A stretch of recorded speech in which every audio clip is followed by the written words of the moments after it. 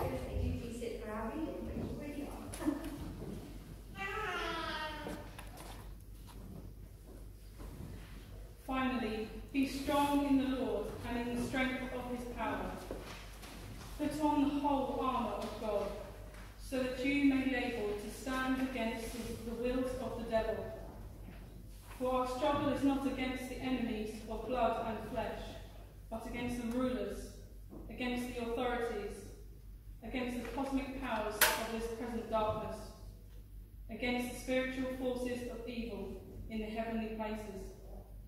Therefore, take up the whole armour of God, so that you may be able to withstand on that evil day, and having done everything, to stand firm. Stand therefore and fasten the belt of truth around your waist, and put on the breastplate of righteousness.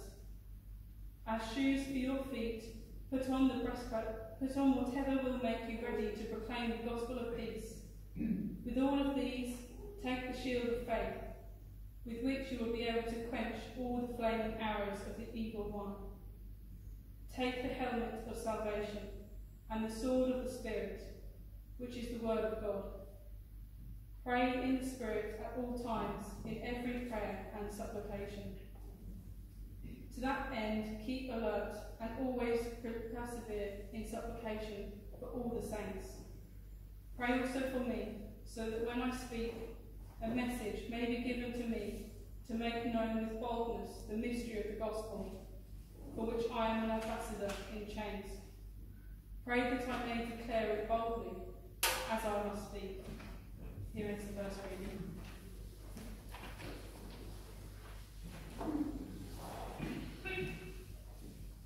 Hear the gospel of our Lord Jesus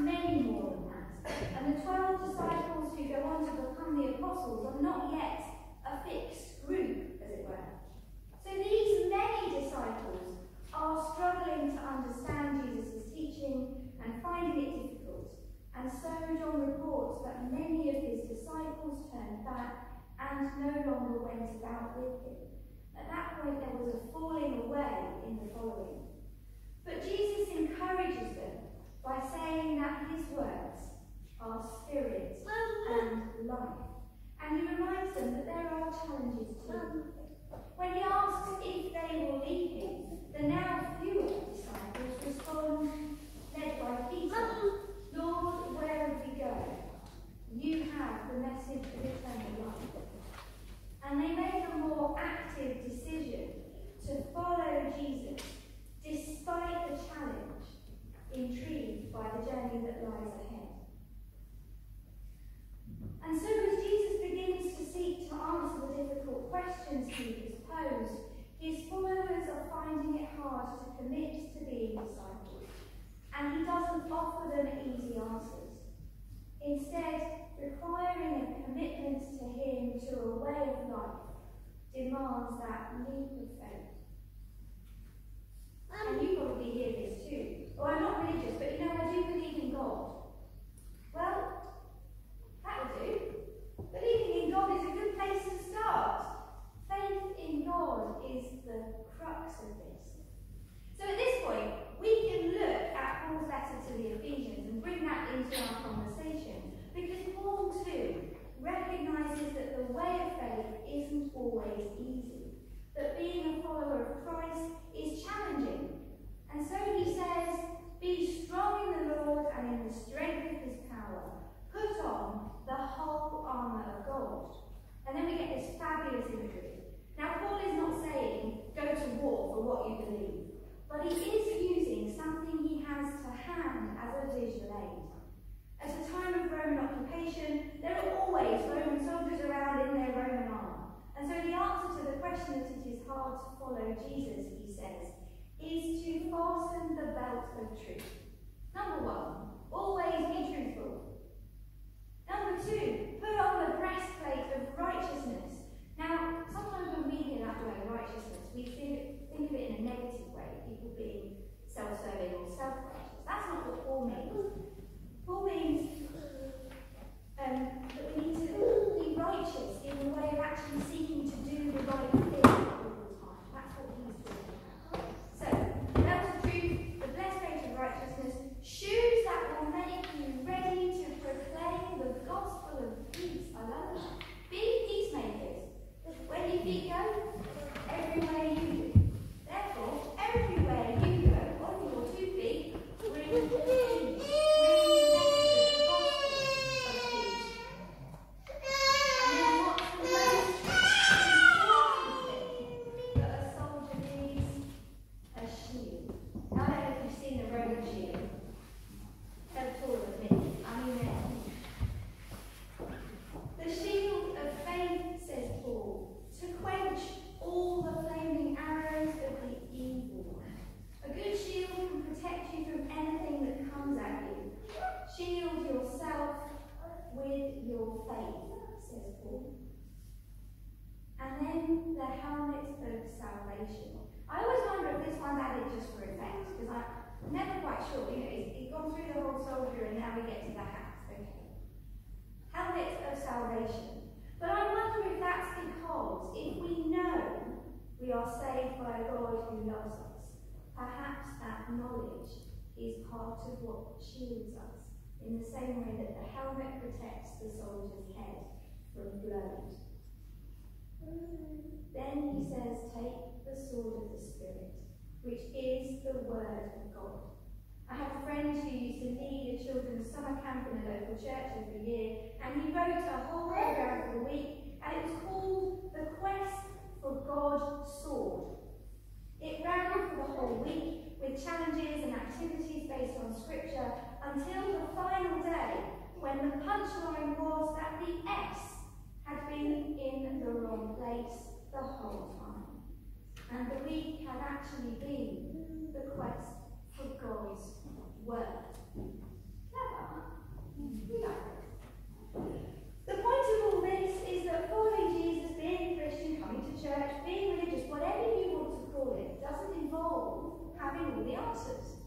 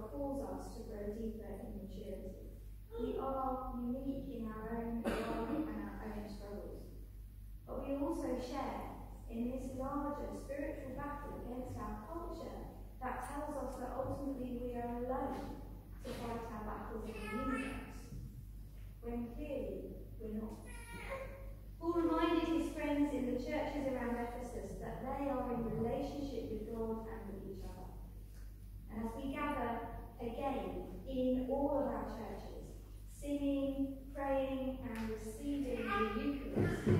May we remember that there's that heaven again, that we are saved, that the victory has been won, that we are at peace with God and with each other. And may you all stand on that promise as we enter into this new season together. Amen. Amen.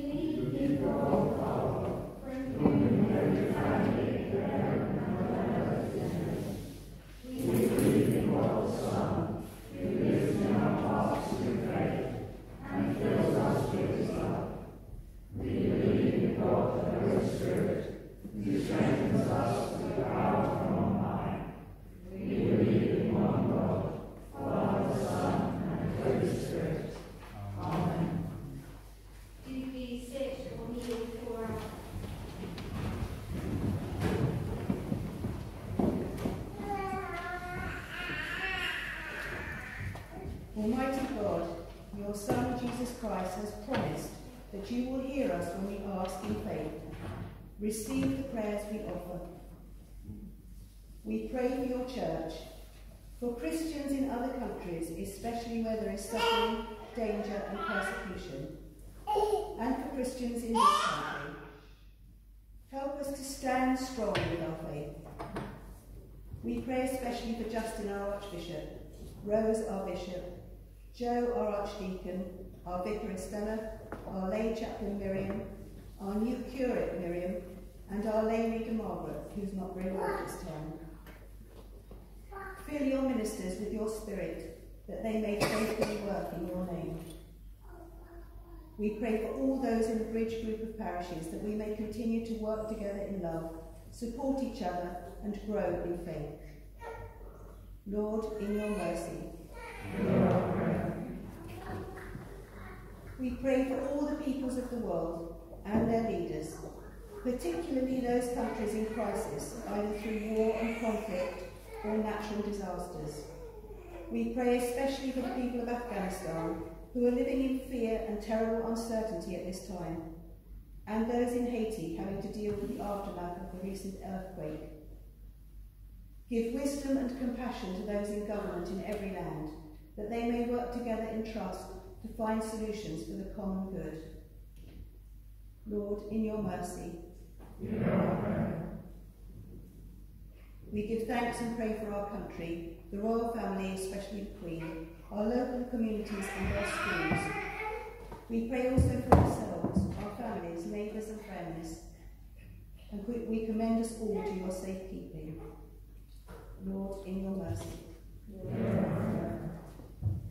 We pray for those in need, those who suffer, the sick, the poor, the distressed, the lonely, the unloved, the unemployed, the sad, and those who grieve. Give comfort to them and let them know your peace.